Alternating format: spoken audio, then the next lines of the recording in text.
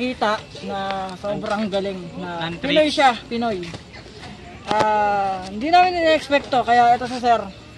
Ah, tatanungin na natin kung ano, kung paano siya. Kung, kung paano siya nagsimula. Okay, okay, okay. Sir, bago ang lahat, ah, anong pangalan mo? Sir? Ah, kasi Jose, si Sir Jose.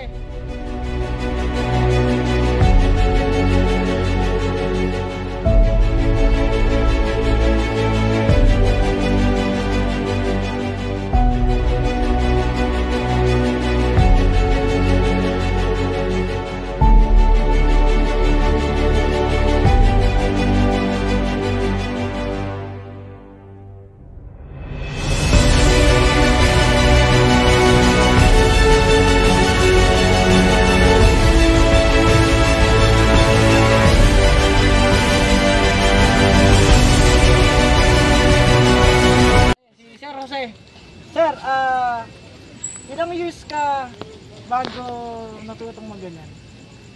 Mag-tricks. ah, nag-start ako ano, ah, 16, 16 years old. 16, 17 yata, yung 2004. Ah, Tapos, ang bike ko lang noon, wala lang, standard. wala lang, pang junk shop lang yung bike ko. Mga standard lang ganun. Ah, tapos, na-joke lang din sa mga tropa-tropa, tapos nakakita sa mga tambay, din. Tapos, nakita ko yung mga tricks, magaling. Inaral ko din. May sinalihan ka na sir na competition dito sa Pilipinas. Oh, dito sa national, kami yung ano, sa target ng national. Wow! Ah, SEA Games? sir, ah, Ah,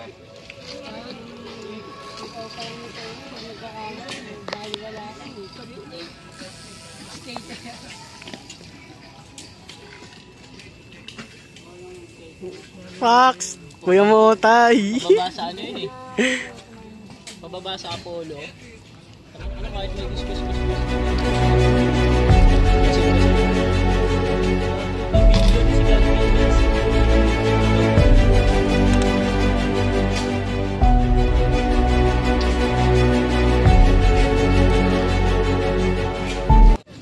gaano katagal mo inaaral yung mga ganun? Depende. Sa isang trick, siguro kung magpo-focus ka ng ano, sa isang trick, talagang focus ka araw-araw.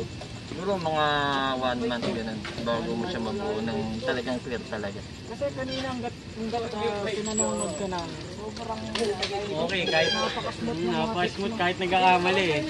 Oo, kasi hindi mawawala yun eh. Actually kasi sa kada practice ko, dapat nabubuo ko at least mga 5 to 10 na ulit. Hindi pwedeng walang nabubuo pag ano, practice ka. Okay, Para Para consistent kasi Actually sir, alam mo kaya gusto ko kita intervene kasi sir, frustration ko to.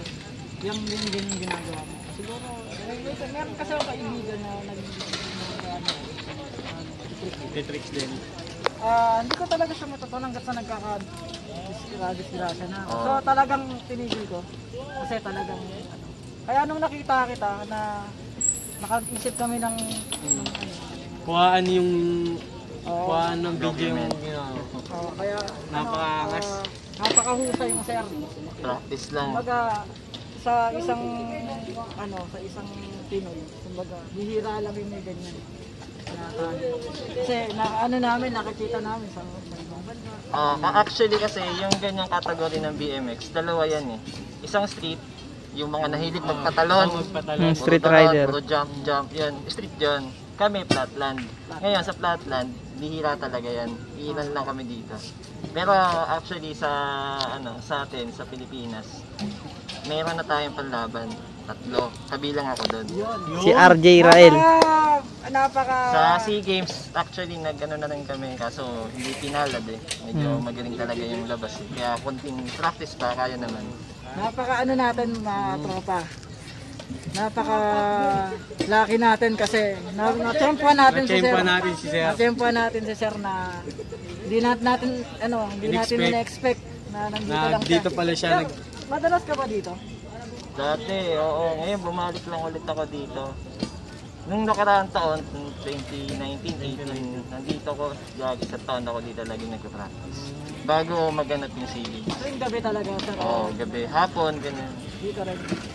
Tapos minsan sa may Raha Sulaiman, sa may, sa may fountain dyan.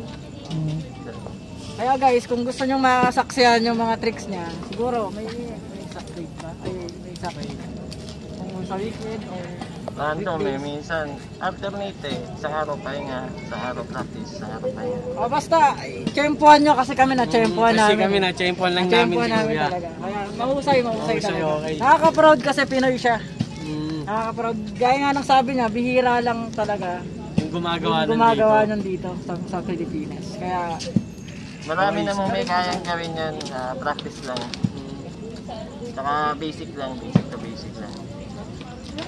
Mga, ano, pinaka-worst na nan na naging disgrasya. Ano lang, uh, worse, yung nabalian ako dito ng buto. Talagang maano talaga. Kasi actually, hindi na siya pantay oh. Ito nakalubog na. Nabali kasi yan eh. Dito. Pero ganun Tsaka pa man, medyo maano na, tinuloy mo pa rin ano. talaga yung Ah, passion mo. Kala ko nga, ano lang eh, kala injured lang eh, kasi isang linggo pa ako naglalaro, namamaga eh. Tapos nung pin-x-ray ko na, di gumagaling. Ah, bali na pala. Ayun. Yan, basta, yun guys. Sir, baka may gusto ko i-shoutout. Ah, wala naman. Shoutout lang sa mga teammates ko.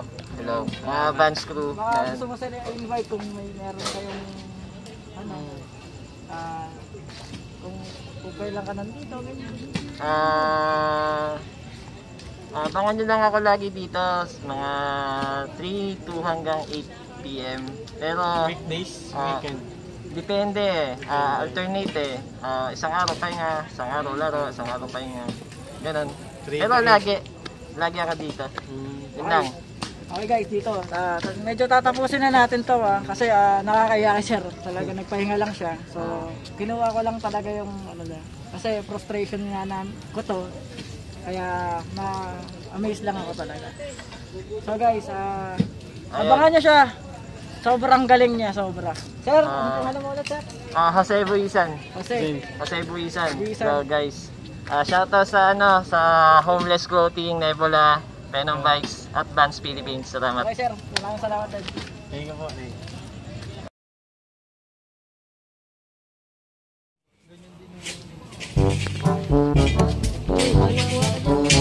Oh, Fox. Tumukha lang. Nagkitik si Momoy, oh.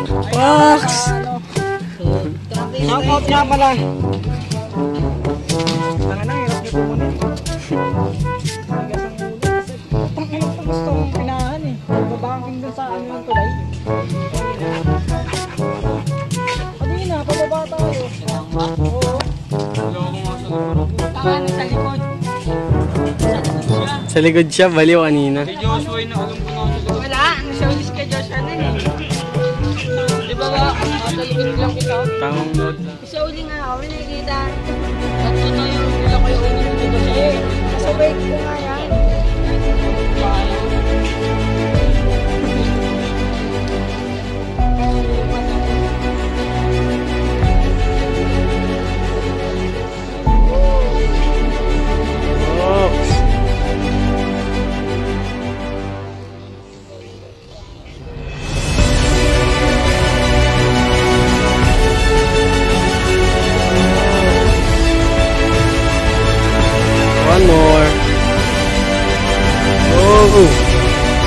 Push!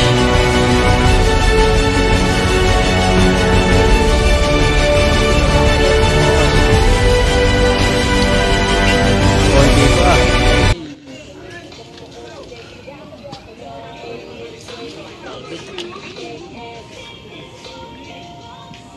Pahinga si kuya. Site na yung tagiliran. Kaya ni Papa, ali. Naka-face mask pa pala siya, no? Hmm. Naka-face mask pa.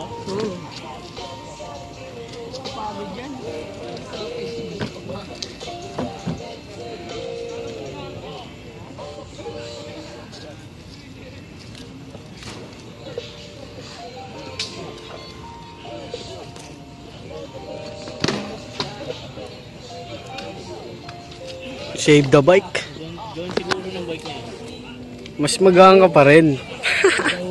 Bakal.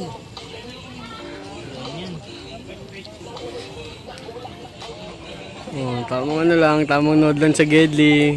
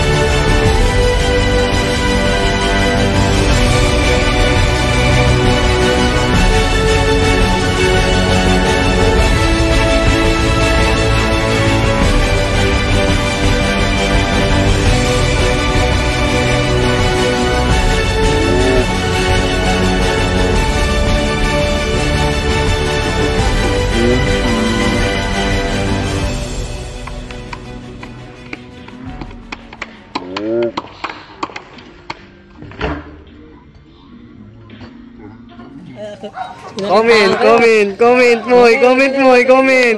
Comment mo, comment. Napakahusay. Mahusay. Oo, napakahusay. Yung golden buzzer? Baser na ba? Baser na? Pot, pot, pakutos ka sa ulo mo, golden buzzer daw.